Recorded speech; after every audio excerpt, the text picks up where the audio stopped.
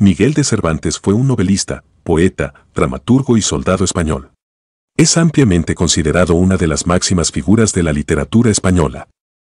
Fue el autor de El ingenioso hidalgo Don Quijote de la Mancha, novela conocida habitualmente como El Quijote, que lo llevó a ser mundialmente conocido y a la cual muchos críticos han descrito como la primera novela moderna,